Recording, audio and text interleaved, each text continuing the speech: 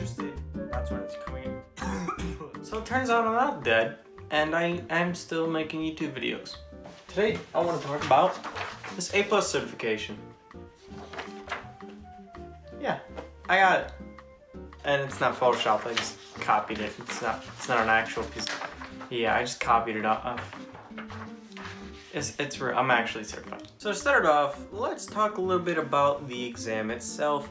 Um, to, to knowledge that I have about tech and hardware and networking, it wasn't that hard. It was it was a little tricky on some questions because the way that they word them, they really want to confuse you and pick, get you to pick the wrong answer. But if you can memorize uh, a lot of the stuff, this test is pretty much based off of memory. Uh, but like memory that you should pretty much know if you're going into IT. So I took 901 and 902. Uh, so that started in uh, December of 2015 and it's going until July of 2019, so this upcoming year, um, because the 1001 and 1002 uh, is coming out in a couple days as of posting this video.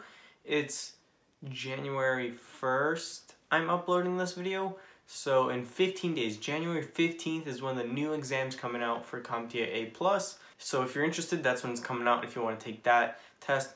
But looking at the specifications of the test, that looks like it's going to be a little more tricky than the 901 and the 902. So let's get into the 901 and 902 specifications from my testing experience. So on these exams, you have a maximum of 90 questions being asked. ranges, uh, I believe I saw the lowest is 80, 85. Uh, that's the lowest I've seen um, from my tests and my friends' tests. Um, I had 88 and I forgot which one 902 had, but I had 88 on my 901. So you can expect a range of questions. You still get that 90 minutes, it's just a different amount of questions. So in order to pass the 901, you need 675 points, and for the 902, you need 700 flat, exactly 700 points to pass, uh, and to get your certification and be certified as a CompTIA A+. Alright, so let's start the 901. The 901, I had a bunch of networking and hardware, um, data transferring cables. Um, that was pretty important, like the connectors of the cables and the speeds of the cables. Uh, network encryption was a big one. Uh, just a lot of network security type questions, but not really security, but like network, uh, like encryption, um, small businesses, home networks, uh, your mobile computers like laptops, uh, tablets, stuff like that. Uh, different types of networks like local wide metro area networks. Um, I had one question uh, about all of those. Uh, and um, a couple questions on LAN networks. Uh, you're also going to want to know a lot of some hardware specific uh, stuff not like like CPU mostly. It's not like any of those uh, nasty like tiny things. It's just gonna be like the major components like CPU, RAM, your hard drive, uh, and some like printers for your attachments, but you're want to know troubleshooting your printers and your hard drives. I had a lot of hard drive questions about like troubleshooting them and how to encrypt those hard drives if they're failing or how to set up a hard drive. So that was my 901. It was mostly just hardware, networking, networking, hardware troubleshooting, as well as mobile devices. My 902 was a little more trickier since there's a lot more networking questions on the 902 for me. Network security was a huge one, uh, like encryption, like WAP, WAP2, AES, that stuff, that's pretty important for you to know. Um, your hardware security, that was pretty easy, uh, like your Kingston lock, uh, locking profiles specific, uh, like software security, like privileges and stuff like that. It was most more like hardware. Uh, it was mostly like security based for my 902. It was like network security, software security, and some hardware security. There are some office server questions as well as mobile security. Again, this I had a lot of security questions and networking questions on 902. Um, file permissions, that's pretty important. Um, shared file permissions on Windows computers um, like viruses and like different types of hacks were pretty important to know. Um, you want to know how to uh, teach uh, your your employees or how to prevent it, how to prevent an attack uh, by either hardware uh, infected viruses, by USB or network, email, phishing, uh, scamming, whaling, all that fun stuff that we all love when when it happens. There were some Linux commands. There wasn't that many Linux commands, but uh, you should know a couple of them. Uh, for Mac OS and Linux, they're pretty much very similar since Mac OS is based off of a Linux operating system. It is a Linux operating system, so it's just Windows and Linux commands that you really have to learn. Don't even bother learning Linux and Mac OS because you get you just I don't think I've seen a Mac OS terminal question at all. It was mostly just like command lines for Windows and your terminal for Linux, uh, like your sudo. Um, how to change your permissions, how to change yourself to an admin, change user in command line, delete, change files. Uh, just like com basic command line stuff that you should know. Um, that's on the test as well. Uh, a lot of customer support. 902 is focused a lot on customer support as well as security and networking. they brought back some 901 questions uh, not much, like very little, like maybe five to ten questions from the 901 exam on my test. So again, types of hacks are pretty important for you to know uh, on the 902 because it's based on security, uh, some network hacks as well, viruses.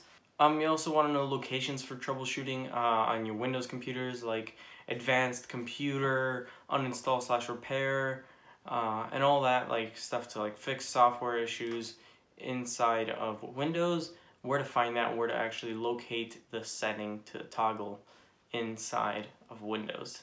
Either 7, XP, Vista, uh, 8.1, 10. 10 was, I think there was a Windows 10 question. I also had some like more modern uh, test questions to like SSDs. So like there was a 9 terabyte SSD. I don't know where they got that from because it was a question about most economical. Uh, the guy has a 9 terabyte SSD, but something's wrong or something. It was something similar like that, but like I don't know where in the world you find 9 terabytes of an SSD for cheap. Um, but yeah, that was an option. Um, yeah, CompTIA must have a very high standard for low budget.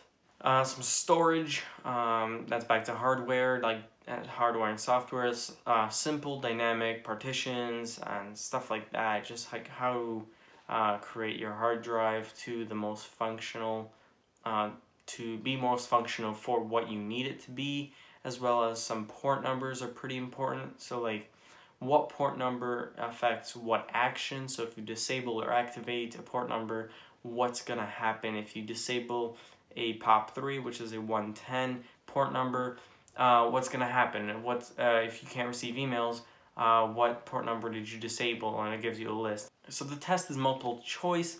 I just went over some quick bullet points. I had to keep looking. I don't know if you, you probably did notice when I was looking down here, because uh, that's where I have all my bullet points uh, from what I have, because it, it's a pretty long test, two 90 minute tests. You know, I kind of drain a lot of that out. But I took the test, and right after I got in my notebook and started no jotting down these notes of what I remember off the test. It's a multiple choice test with a couple labs. I think it's only two labs on the 901, and I think it's three labs on the 902.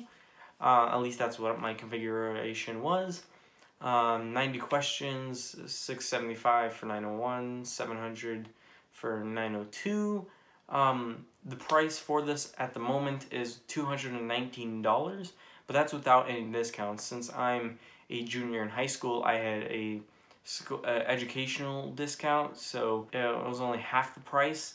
Um, so if you have anyone that's either in college, uh, high school, or if you have anyone in the education space that could provide you an email or something to get you that discount, it's well worth uh, asking. Um, maybe like give them a couple dollars because half the price of 219 saves you a big buttload of money on a certification because it's just a piece of paper but it does help you a lot in the future if you do get this certification because of all the job opportunities and it is industry standard industry standard. Well, it's well known in the industry, IT industry, uh, of what is CompTIA A plus. So if you want to get a leg up to the average, uh, average tech support Joe, uh, if you have the IT, A, A plus, it can open door more doors for you. Recruiters, if you're on LinkedIn, they like they look for this. My friends have been getting job offers for getting this certification. Uh, it's a big deal in the IT space.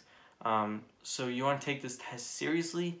Um, the way that I studied for it, I had all, for the way we had it for my school is we had the whole school year to prepare for it. Um, but me and my friend really didn't want to take the whole school year. So at the end of the semester, which was ended like last week, well before Christmas, no, like this video is going January 1st. So before Christmas, two weeks ago, uh, I took both tests within a week. I took a test on Friday, and then the following Thursday, I took a 902. So 901 was on Friday. I scheduled it on Friday as well as 902 on Thursday for the following week. Um, I just didn't want to take too long. I just wanted to get this done and over with because I want to get other certifications while I still have time to, and I don't have to pursue something full time um, to be able to make money and make a living in this economy. Yeah, so this test you can study for it. Um, it took me two weeks to prepare for the 901. That's because I was just scared. I wasn't, I didn't know hands-on what I was getting into. Uh, but for the 902, just two or three days I took studying. The rest was memory from my experience in my 17 years of life. You know, you do pick up on a lot of these things from experience. So if you have experience in the IT field, you'll definitely be able to pass this with just a couple weeks of studying. You don't need months, you don't need years. Take the test as soon as possible because the 901, from looking at what the test has, seems to be a little bit easier than 1001 and 1002. Um, but no one's really going to be looking which version of the test as long as you have this piece of paper certification. Because nowhere here does it say which test you took. It just says that you took the test and passed the test and became A plus certified. So try to get that discount. There's many, I believe there's many different discounts other than education. Uh, you can have your employers pay if you're already in the IT field um, to get that experience. Mm, getting this test is um, not mandatory. You can live without it, but it does help you out a lot and it lets you know exactly what you should be ready for if you're going into IT. So this is my experience with the CompTIA A Plus certification 901 902. I hope this video helped you uh, know exactly what's on my test at least and a little bit more about the um, CompTIA A Plus test itself. If you're taking this, you want to take it before July 31st, 2019, this year.